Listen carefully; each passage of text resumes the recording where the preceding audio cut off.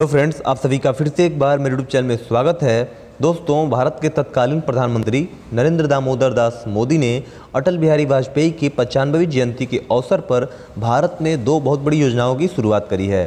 दोस्तों, आज की इस वीडियो के माध्यम से मैं आपको बताने वाला हूँ कि उन दोनों योजनाएँ कौन कौन सी हैं तथा इससे आम जनता को क्या लाभ होने वाला है। तो दोस्तों, इस वीडियो में लास्ट तक आप बने रहिए। दोस्तों, यदि आपको मेरा वीडियो अच्छा लगता है तो एक लाइक कर दीजिएगा तथा कमेंट बॉक्स में अपना कीमती सुझाव ज़रूर दीजिएगा दोस्तों। तो चलिए दोस्तों, आज कुछ नया सीख लेते हैं। दोस्तों जहाँ 25 दिसंबर को पूरा विश्व क्रिसमस के रूप में मनाता है। वहीं दोस्तों, क्या आपको पता है 25 दिसंबर को भारत के पूर्व प्रधानमंत्री अटल बिहारी वाजपेयी का जन्म हुआ था। दोस्तों, इनके जन्म दिवस पर 25 दिसंबर 2019 को भारत के तत्कालीन प्रधानमंत्री नरेंद्र दामोदर दास मोदी ने भारत में दो योजनाओं की शुरुआत करी है जिसमें से पहली योजना है दोस्तों, अटल भूजल योजना तथा दूसरी योजना है अटल टनल योजना दोस्तों। तो मैं दोस्तों, आपको बारी बारी से दोनों योजनाओं के बारे में विस्तृत जानकारी देने वाला हूँ। तो चलिए सबसे पहले हम बात करते हैं अटल भूजल योजना की।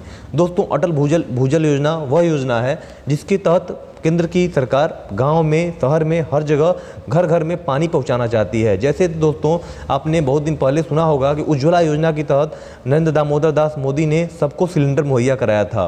वैसे उज्ज्वल योजना के तहत सारे घरों में विद्युत की सप्लाई देना उनका लक्ष्य था। तथा प्रधानमंत्री आवास योजना के तहत उन्होंने सबको घर देने का वादा किया था, जो बहुत हद तक कारगर भी रही हैं। अब दोस्तों, जो प्रधानमंत्री की नई योजना है, अटल भूजल योजना, इसके तहत दोस्तों, वह हर ग्रामीण क्षेत्रों में तथा शहरी क्षेत्रों में पानी मुहैया कराना चाहते हैं। वो भी सस्ते रेटों में, अच्छे दामों में दोस्तों, आपको पानी मुहैया कराया जाएगा।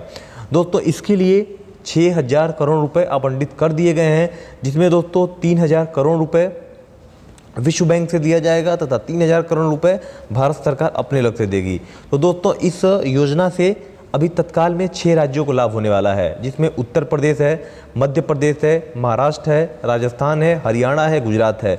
इसके पचासी सौ गाँवों में दोस्तों अभी तत्काल में यह योजना कार्यरत होगी, शुरुआती दौर में दोस्तों। तो आप छः राज्यों में, पचासी सौ गाँवों में दोस्तों, यह योजना तत्काल कार्यरत होगी। तो दोस्तों, इस योजना का मुख्य लक्ष्य यही है कि हर ग्रामीण को तथा हर शहरी क्षेत्रों में रहने वाले निवासियों को घर में पानी की सप्लाई दी जाए तथा उचित रेट पर उनको पानी मुहैया कराया जा सके। ये तो रही दोस्तों, अटल भूजल योजना। अब दोस्तों, अब मैं आपको बताने वाला हूँ अटल टनल योजना के बारे में दोस्तों। अटल टनल योजना दोस्तों, वैसे तो बहुत पुरानी योजना है, जिसको पहले रोहतांग टनल के नाम से जाना जाता है। इसकी शुरुआत दोस्तों सन 2005 में हुई थी, जिसको हम रोहतांग टनल के नाम से अभी भी कार्य इसमें चल रहा है। इसका दोस्तों ऑलमोस्ट अस्सी तक काम कंप्लीट हो चुका है। बट दोस्तों, अभी इसमें उम्मीद है कि सितंबर या अक्टूबर 2020 तक इसका काम कंप्लीट हो जाएगा। बट मोदी सरकार इसका नाम चेंज करके अब इसे अटल टनल योजना करना चाह, करना चाहती है। तो दोस्तों, अब इस योजना को अटल टनल योजना के नाम से जाना जाएगा। दोस्तों, यदि आप किसी कंपटीशन की तैयारी करते हैं तो आपके लिए एक बहुत अच्छा क्वेश्चन भी है। आप इसको नोट कर लीजिएगा। तो इसकी दोस्तों खासियत अटल टनल योजना की मैं बता देता हूँ।